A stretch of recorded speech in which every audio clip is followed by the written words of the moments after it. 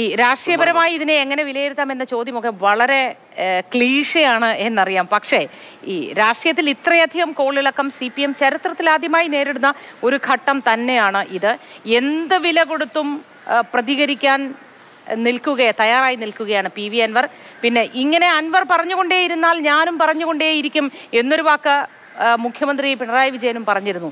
ഇനി ഏത് തരത്തിലായിരിക്കും ഇങ്ങനെ അങ്ങോട്ടും ഇങ്ങോട്ടും പറഞ്ഞുകൊണ്ട് മുന്നോട്ട് പോകുന്നത്?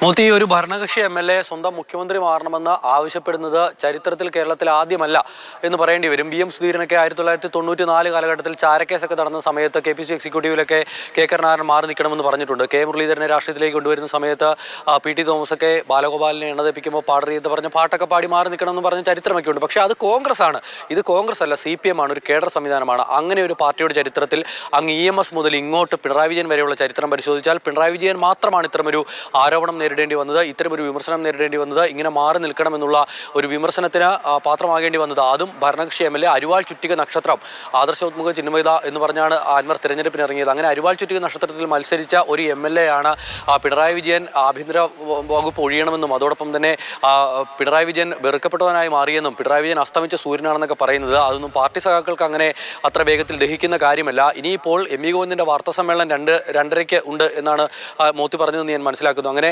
രണ്ടര മണിക്ക് വാർത്താ സമ്മേളനം ഉണ്ട് എങ്കിൽ കൂടി ഞാൻ ബി ബാലഗോപാലിലേക്ക് ഒന്ന് പോകുന്നു. ദില്ലിയിൽ നിന്നും ബാലഗോപാൽ ചേരുന്നു. ബാലുചേട്ടാ ഇന്ന് വാർത്താ സമ്മേളനം ഉണ്ടാകും എന്നാണല്ലോ പറയുന്നത്. മാത്രമല്ല party secretary M V Govindan വളരെ ചെറിയ തോതിൽ ഒന്ന് മാധ്യമങ്ങളോട് പ്രതികരിക്കുകയും ചെയ്തല്ലോ. എന്താണ് വിശദാംശങ്ങൾ?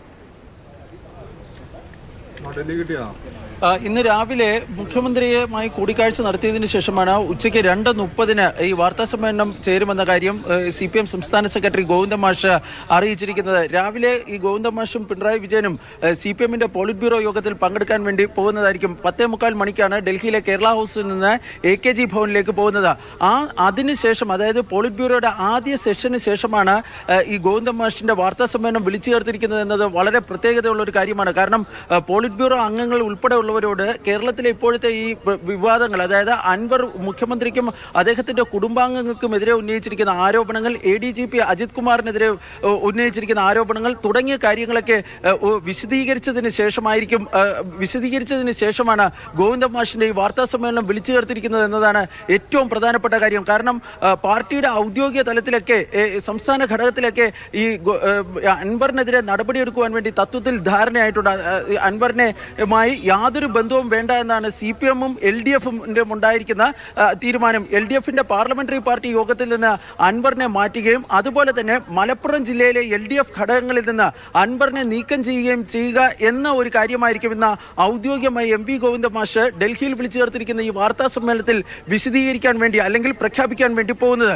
ഇതിനു പുറമെ മുഖ്യമന്ത്രിക്കും കുടുംബാംഗങ്ങൾക്കുമെതിരെ അൻവർ ഉയർത്തിയിരിക്കുന്ന ആരോപണങ്ങൾക്ക് ശക്തമായ മറുപടിയും ഇന്ന് എം വി ഗോവിന്ദൻ മാഷ് ഉച്ചയ്ക്ക് രണ്ട് മുപ്പതിന് വിളിച്ചു ചേർത്തിരിക്കുന്ന വാർത്താ സമ്മേളനത്തിൽ അതിനെതിരായ ആരോ അതിനെതിരായ ശക്തമായ പ്രതികരണങ്ങൾ നടത്തുവാൻ നടത്തുവ നടത്തുമെന്നുമാണ് പാർട്ടി കേന്ദ്രങ്ങളിൽ നിന്ന് മനസ്സിലാകുന്നത്.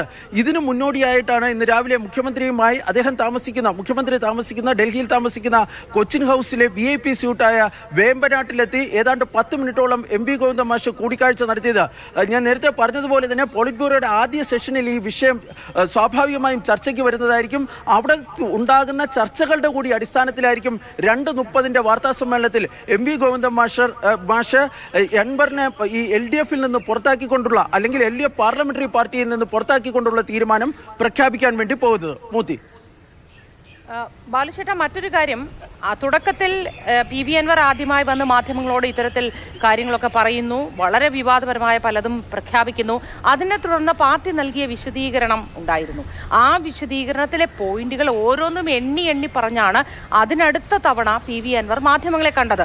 ഓരോ ആരോപണങ്ങൾക്കും മറുപടി പറഞ്ഞുകൊണ്ടാണ്. അങ്ങനെയെങ്കിൽ ഇന്നലെ ഈ രണ്ട് മണിക്കൂറോളം പറഞ്ഞ എല്ലാ കാര്യങ്ങളിലും പാർട്ടിക്കൊരു മറുപടി ഉണ്ടാവുമോ? മറുപടി വരേണ്ടതല്ലേ? തീർച്ചയായും പാർട്ടി അക്കാര്യത്തിൽ അത് ശക്തമായ അതായത് ഓരോ ആരോപണങ്ങൾ സംബന്ധിച്ചുമുള്ള പ്രതികരണം ഉണ്ടാകുമെന്ന് തന്നെയാണ് പാർട്ടി കേന്ദ്രങ്ങൾ വ്യക്തമാക്കുന്നത്. അതുകൊണ്ട് തന്നെ വളരെ വിശദമായ ഒരു വാർത്താ സമ്മേളനമായിരിക്കും എം പി ഗോവിന്ദമാഷ് ഡൽഹിയിലെ കേരള ഹൗസിലെ കോൺഫറൻസ് ഹാളിൽ വിളിച്ചു ചേർത്തിരിക്കുന്ന ഈ വാർത്താ സമ്മേളനത്തിൽ വെച്ച് പ്രഖ്യാപിക്കാൻ വേണ്ടി പോകുന്നത്. സാധാരണ എം പി ഗോവിന്ദമാഷ് പാർട്ടി സെക്രട്ടറി ആയതിനു ശേഷം ഇവിടെ ഈ ഔദ്യോഗിക അതായത് കോൺഫറൻസ് ഹാളിൽ നിന്നും മറ്റു വാർത്താ സമ്മേളനം അങ്ങനെ വിളിക്കുന്ന പതിവില്ല. അദ്ദേഹം പോകുന്ന വഴിയിൽ മാധ്യമങ്ങളും മറ്റും ചോദിക്കുകയാണെങ്കിൽ ഒരു ബൈറ്റായി നൽകുകയാണ് ചെയ്യാറുള്ളത്. പക്ഷേ ഇത്തവണ ആ പതിവിന് വിപരീതമായി അദ്ദേഹം ഡൽഹിയിലെ കേരള ഹൗസിൽ ഔദ്യോഗികമായി വാർത്താ സമ്മേളനം വിളിച്ചു ചേർത്ത് ഇക്കാര്യം വിശദീകരിക്കുവാൻ വേണ്ടി തീരുമാനിച്ചിരിക്കുകയാണ്. അതിൽ അൻവർ ഉന്നയിച്ചിരിക്കുന്ന ഓരോ ആരോപണങ്ങളെ സംബന്ധിച്ചുള്ള ഈ പാർട്ടിയുടെ മറുപടിയും ഉണ്ടാകുന്നതായിരിക്കും. കഴിഞ്ഞ തവണ അൻവറിന്റെ ആരോപണങ്ങളൊക്കെ ഉണ്ടായപ്പോൾ പാർട്ടി അക്കാര്യം പരിശോധിക്കാമെന്നൊക്കെ പറഞ്ഞിരുന്നു. പക്ഷേ ഇനി ഒരു തരത്തിലുള്ള അന്വേഷണവും അൻവറിന്റെ ഈ ആരോപണങ്ങൾ സംബന്ധിച്ച് ഉണ്ടാകില്ല എന്നാണ് പാർട്ടി കേന്ദ്രങ്ങൾ വ്യക്തമാക്കുകയും ചെയ്യുന്നത്. ഇന്ന് രാവിലെ നടക്കുന്ന പോളിറ്റ് സെഷനിൽ ഇക്കാര്യങ്ങളെല്ലാം വിശദീകരിച്ചതിന് ശേഷമായിരിക്കും എം പി ഗോവിന്ദൻ മാഷ് ഉച്ചയ്ക്ക് രണ്ട് മുപ്പതിന് ഡൽഹിയിലെ കേരള ഹൗസിൽ ഈ അൻവറിനെതിരായ നടപടിയും അതുപോലെ തന്നെ പാർട്ടി ഈ ആരോപണങ്ങൾ സംബന്ധിച്ചുള്ള പാർട്ടിയുടെ പ്രതികരണവും വിശദീകരിക്കാൻ വേണ്ടി പോകുന്നത്. മൂത്തി.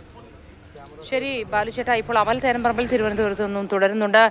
അമൽ വളരെ വിശദമായ ഒരു വാർത്താ സമ്മേളനമായിരിക്കും ഇന്ന് ഉച്ചയ്ക്ക് ഉണ്ടാവുക എന്ന് പറയുന്നു. ഓരോ കാര്യങ്ങളിലും പാർട്ടിക്ക് എന്താണ് പറയാനുള്ളത് എന്ന മറുപടി ഉണ്ടാവുമെന്നാണ് പറയുന്നത്. പക്ഷേ ഇത് ഏത് തരത്തിലായിരിക്കും പാർട്ടി പ്രതിരോധിക്കുക? ഇനി പ്രതിരോധിക്കുക എന്ന ഒരു സ്ഥാനമുണ്ടോ? അങ്ങനെ പ്രതിരോധിക്കാൻ കഴിയുമോ പാർട്ടിക്ക്? മോത്തി വലതുപക്ഷ മാധ്യമങ്ങളുടെ ആയുധമായി അൻവർ മാറി. വലതുപക്ഷത്തിന് അല്ലെങ്കിൽ പ്രതിപക്ഷത്തിന് പ്രയോഗിക്കാൻ പരുവത്തിനുള്ള ആയുധങ്ങൾ ഇട്ടുകൊടുക്കുന്ന ഒരാളായി അൻവർ മാറി. വലതുപക്ഷ വ്യതിയാനം സംഭവിച്ചു. അൻവറിന് തുടങ്ങിയ വിമർശനങ്ങൾ ഉന്നയിക്കാം എന്നതിനപ്പുറത്തേക്ക് എന്ത് ചെയ്യാനാണ് സി പി എം സംസ്ഥാന സെക്രട്ടറിയുടെ വാർത്താ സമ്മേളനത്തിൽ അൻവറിനെ എന്നുള്ളതാണ് ഉയരുന്ന ഏറ്റവും പ്രധാനപ്പെട്ട ചോദ്യം. അൻവർ അരിവാൾ ചിറ്റിക നക്ഷത്രത്തിലാണ് മത്സരിച്ചത് എങ്കിൽ കൂടി ആ ഇടതുപക്ഷത്തിന്റെ എം എൽ എ ആണ് എങ്കിൽ കൂടി പാർട്ടി അംഗമല്ല. പാർട്ടി നടപടി സ്വീകരിക്കാൻ കഴിയില്ല എന്നുള്ള കാര്യത്തിൽ ഒരു പ്രശ്നം നിലനിൽക്കുന്നുണ്ട്. സി പി എമ്മിനെ സംബന്ധിച്ചിടത്തോളം ഏറ്റവും വലിയ ആ, പ്രതിസന്ധിയും അത് തന്നെയാണ്. ഒരു പാർട്ടി അംഗമായിരുന്നുവെങ്കിൽ പാർട്ടി നടപടി സ്വീകരിക്കാമായിരുന്നു മാറ്റി നിർത്താമായിരുന്നു രാജിവെക്കാൻ ആവശ്യപ്പെടാമായിരുന്നു. പക്ഷേ അൻവറിന്റെ കാര്യത്തിൽ അതൊന്നും സാധ്യമല്ല. രാജിവെക്കുമോ അൻവർ എന്ന ചോദ്യത്തിന് ഇന്നലെ കൃത്യമായി തന്നെ അൻവർ മറുപടി പറഞ്ഞു. എം എൽ എ ആ മൂന്ന് വാക്ക് എനിക്ക് ജനങ്ങൾ നൽകിയതാണ്. അതിനാൽ തന്നെ രാജിവെക്കാൻ കഴിയില്ല എന്നുള്ള കാര്യം പറഞ്ഞു. പാർട്ടി സംസ്ഥാന സെക്രട്ടറി നേരത്തെ ഒരു മുന്നറിയിപ്പ് നൽകിയിരുന്നു. പരസ്യ പ്രസ്താവനകളിൽ നിന്നും പി വി അൻവർ മാറി നിൽക്കണമെന്നുള്ളത്. അത് ഇന്നലെ ശ്രദ്ധയിൽപ്പെടുത്തിയപ്പോൾ പി വി അൻവറിന്റെ മറുപടി എന്ന് പറയുന്നത് പരസ്യ പ്രസ്താവന നിർത്താൻ സൗകര്യമില്ല എന്നുള്ളതാണ്. അപ്പോൾ സ്വാഭാവികമായും അൻവറിനെതിരെ ഏത് തരത്തിലുള്ള നടപടിയിലേക്ക് അല്ലെങ്കിൽ ഏത് തരത്തിലുള്ള നീക്കം സി പി എമ്മിന്റെ ഭാഗത്തു നിന്നും ഉണ്ടാകും എന്നുള്ളതാണ് കണ്ടറിയേണ്ടത്. പാർലമെന്ററി പാർട്ടി യോഗത്തിൽ നിന്നും മാറ്റി നിർത്താൻ കഴിയും. അതിൽ പങ്കെടുപ്പിക്കേണ്ടതില്ല എന്നുള്ളൊരു തീരുമാനത്തിലേക്ക് സി പി എമ്മിന് എത്താൻ കഴിയും. പക്ഷേ അതിനുള്ള മറുപടിയും അൻവർ ഇന്നലെ തന്നെ രണ്ട് മണിക്കൂർ വാർത്താ സമ്മേളനത്തിൽ നൽകി കഴിഞ്ഞു. പാർലമെന്ററി പാർട്ടി യോഗത്തിൽ പങ്കെടുക്കുമോ? സഭ സമ്മേളിക്കാൻ പോവുകയാണ് ആ നാലാം തീയതി മുതൽ. അപ്പോൾ പാർലമെന്ററി പാർട്ടി യോഗത്തിന് എത്തുമോ എന്ന ചോദ്യത്തിന് അൻവർ അതിനും മറുപടി പറഞ്ഞു കഴിഞ്ഞു. പാർലമെന്ററി പാർട്ടി യോഗത്തിൽ താൻ പങ്കെടുക്കുന്നില്ല എന്നുള്ള കാര്യം. അപ്പോൾ പിന്നെ അൻവറിനെതിരെ ഏത് തരത്തിലുള്ള നടപടിയിലേക്ക് സി നീങ്ങും എന്നുള്ളതാണ് കണ്ടറിയേണ്ടത്. ഇടതുപക്ഷ എം എൽ എ എന്നതിനപ്പുറത്തേക്ക് അൻവർ പാർട്ടി അംഗമല്ലാത്തത് പാർട്ടിയെ വലിയ തോതിൽ പ്രതിരോധത്തിലാക്കുന്നുണ്ട്. അൻവറിന്റെ അൻവറിന് ഈ സൈബർ ഹാൻഡിലുകളിൽ നിന്നും ഒരു വിഭാഗത്തിന്റെ വലിയ പിന്തുണ ലഭിക്കുന്നുണ്ട് എന്നുള്ള കാര്യവും സി പി എമ്മിനെ സംബന്ധിച്ചിടത്തോളം ആശയക്കുഴപ്പം സൃഷ്ടിക്കുന്നു. മാത്രമല്ല അൻവർ ഉന്നയിച്ച ആരോപണങ്ങൾ പാർട്ടി സമ്മേളനം നടക്കുന്ന കാലയളവാണ്. ആ കാലയളവിൽ പാർട്ടിയുടെ താഴെ തട്ടിലടക്കം ചർച്ചയാകുമോ എന്നൊരു ആശങ്ക കൂടി സി പി എമ്മിനുള്ളിലുണ്ട്. അതിനാൽ തന്നെ അതെല്ലാം കണക്കിലെടുത്തുകൊണ്ട് കാര്യഗൗരവമായ ചർച്ചയ്ക്ക് ശേഷമായിരിക്കും എം വി ഗോവിന്ദൻ വാർത്താ സമ്മേളനത്തിലേക്ക് കടക്കുക. പക്ഷേ ഒരു നടപടി എന്നുള്ളത് ഒരു പ്രഹസനമായി മാറുമെന്ന കാര്യത്തിൽ സംശയം വേണ്ട കാരണം ആ നടപടിയെല്ലാം ശിരസ വഹിക്കാൻ അൻവർ ഇന്നലെ തന്നെ തയ്യാറായാണ് രണ്ടര മണിക്കൂർ രണ്ട് മണിക്കൂർ വാർത്താ സമ്മേളനത്തിന് എത്തിയത്. അതിനാൽ തന്നെ എന്താണ് എം വി ഗോവിന്ദിന്റെ വാർത്താ സമ്മേളനത്തിൽ കാത്തുവെച്ചിരിക്കുന്നതെന്ന് വലിയ ആകാംക്ഷയോടുകൂടി നമ്മൾ നമ്മളും കാത്തിരിക്കുകയാണ്. അൻവറിന്റെ നീക്കം ഇനിയിപ്പോൾ എം വി ഗോവിന്ദിന്റെ ഭാഗത്തു നിന്നും ഒരു നടപടി ഒക്കെ പ്രഖ്യാപിക്കുകയാണ് എങ്കിൽ അൻവറിന്റെ വാർത്താ സമ്മേളനം വീണ്ടും ഉണ്ടാകും. അതിന്റെ അതിനുള്ള അൻവറിന്റെ മറുപടി എന്താകും എന്നുള്ളതൊക്കെ വളരെ കൗതുകമുള്ള കാര്യമാണ് മോദി. ശരി. അമൽ. അമൽ തേൻപറമ്പിലും ബാലഗോപാലുമാണ് വിവരങ്ങൾ നൽകിയത്.